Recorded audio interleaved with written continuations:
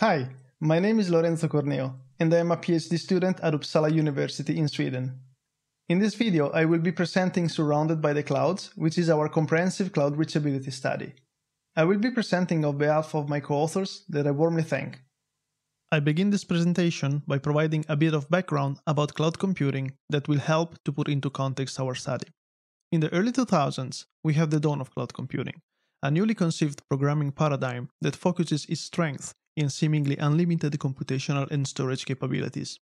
Furthermore, the flexible pricing models, such as pay as you go, made it very popular since businesses and individuals could use cutting edge technologies without the need to purchase very expensive equipment.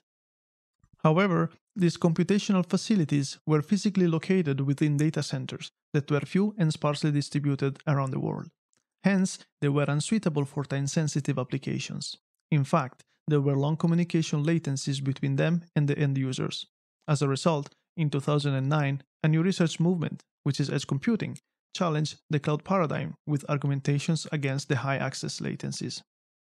After almost a decade of cloud computing, Li et al. presented CloudCmp at IMC 2010, which is what we believe the first significant cloud reachability study. In this study, the authors evaluated cloud access latencies, among many things, such latencies were too high to support the majority of time-sensitive applications that were envisioned by the edge computing pioneers. The cloud infrastructure has expanded constantly since the early 2000s. Cloud providers pioneers like Amazon, Google, Microsoft have expanded the reach of their data centers and have even deployed their own networking infrastructure with a goal to reduce their customers' access latency. Also, there are now many more providers such as DigitalOcean, Linode, Vultr, so Cloud computing offerings are nowadays wider than ever, and the networking infrastructure keeps on being improved in order to cut latencies as down as possible.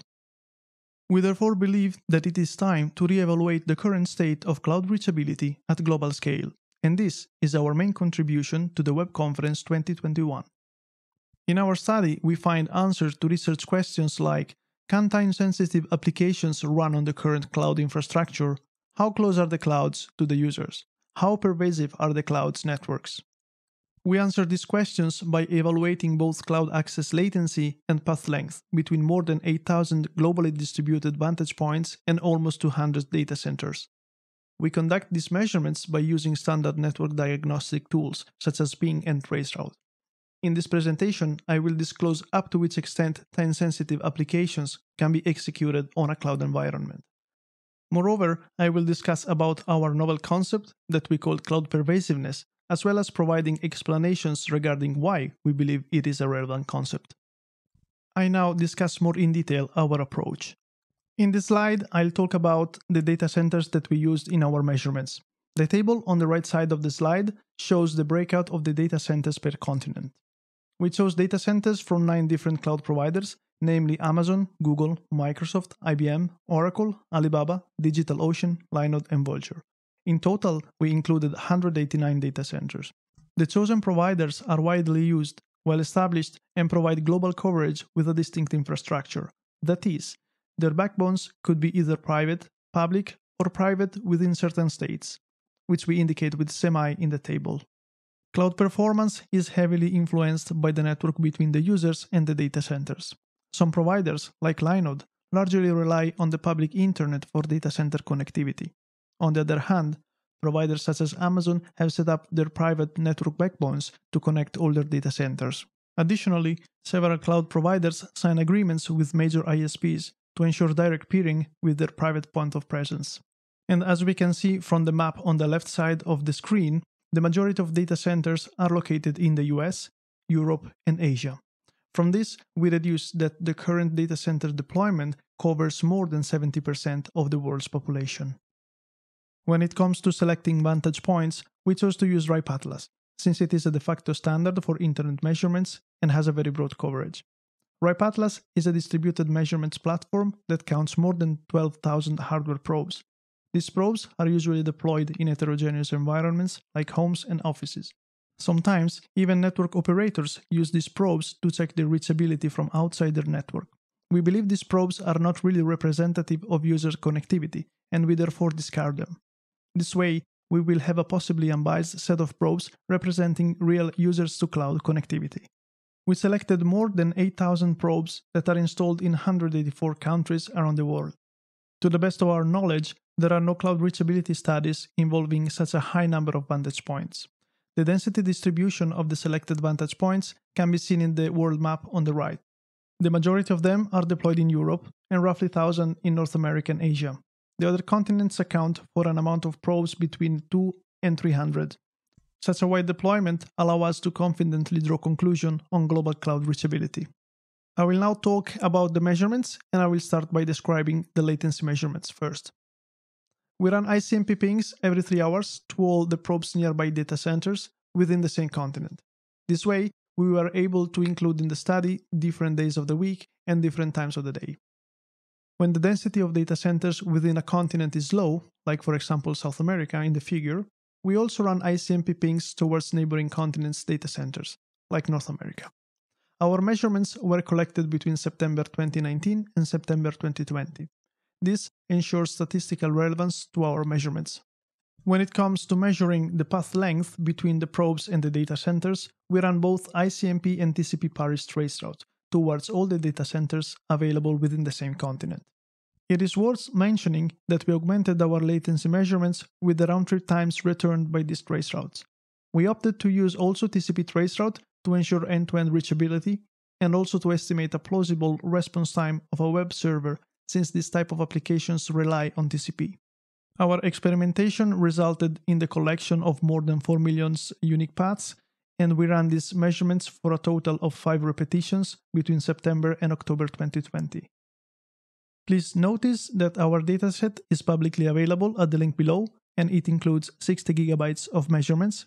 We also released open source on GitHub the code for reproducing our results, so we warmly encourage the community to make use of our artifacts. I will now discuss about how we evaluated the feasibility of time-sensitive applications for the targeted data centers. Specifically, we used three well-known timing thresholds that I now describe.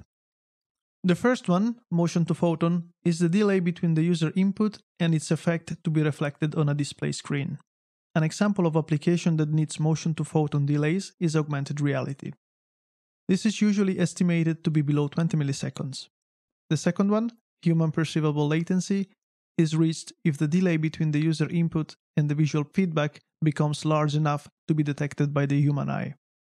An example of application requiring such timing threshold is cloud gaming, and this is usually estimated to be below 100 milliseconds. And finally, the human reaction time, it is the delay between the presentation of a stimulus and the associated motor response by a human. This is a typical situation that happens in remote control of vehicles. This threshold varies between individuals, but on average it is considered to be below 250 milliseconds. And the figure displayed on the right side of this slide is taken from our previous work, Pruning Edge Research with Latency Shears, which was presented at Hotnets 2020. In that work, we extensively discuss about latency requirements of time-sensitive applications. So for more details, please refer also to this paper. Before discussing the results of our analysis, I briefly explain how to read the following results. On an individual country basis, we report the percentage of the round trip time samples that are below any of the aforementioned timing thresholds. Depending on the results, each country is assigned to one of four buckets representing a quartile each of the distribution. That is, one bucket accounts for 0 to 25% of the samples, another one between 25 and 50, and so on until 100%. For visual feedback, please refer to the legend on the bottom left corner of the world map. And now that the latency evaluation criteria have been clarified, it is time to disclose the results of our measurements. From the point of view of the human reaction time, the situation at global scale looks very good. With 179 countries out of 184 that can consistently meet this timing threshold. Here, the interesting bit is that the human reaction time is consistently met also within those continents that have low density of data centers, like South America and Africa.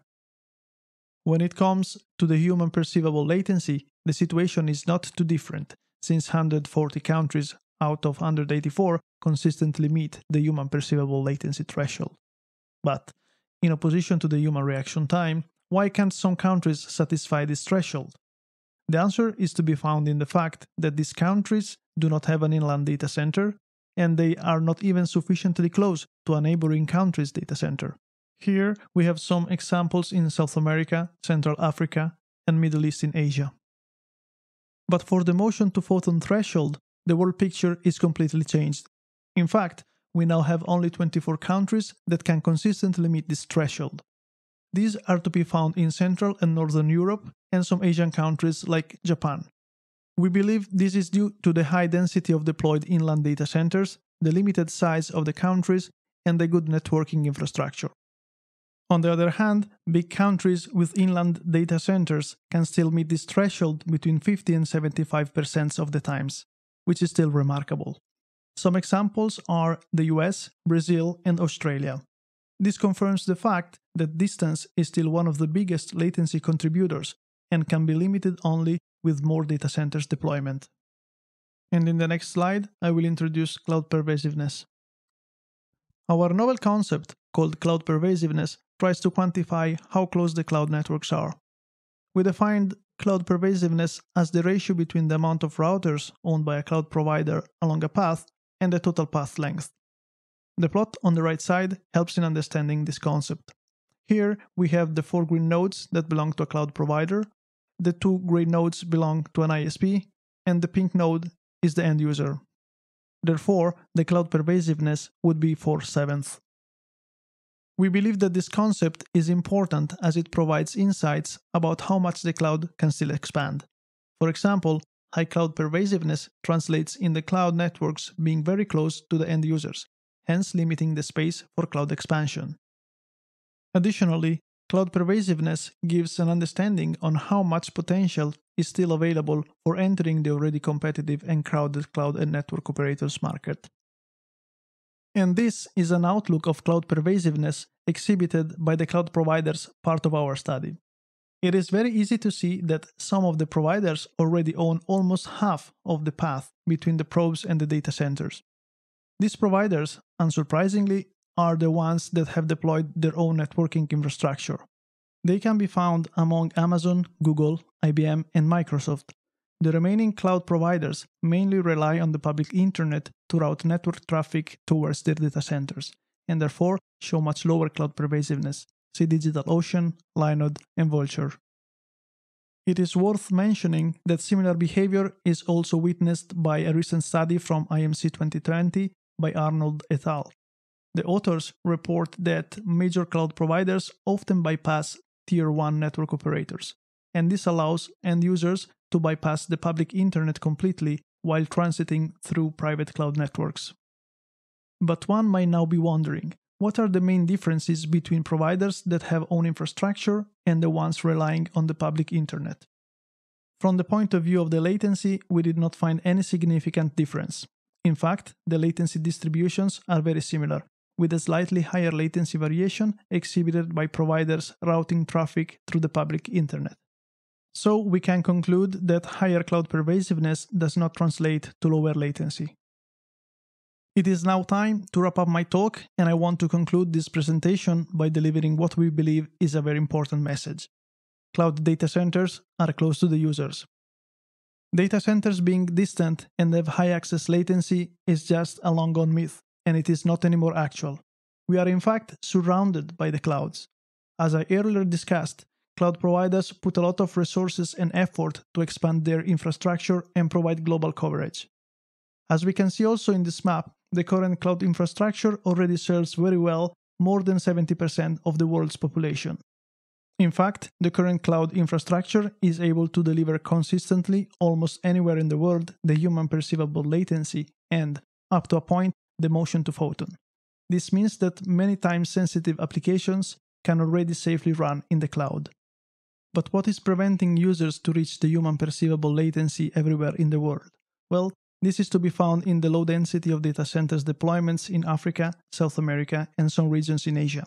We believe it is there that cloud providers should put their effort in expanding their infrastructure with additional data centers. I conclude by mentioning that our research paper offers many more interesting results for you to discover. Thanks for watching.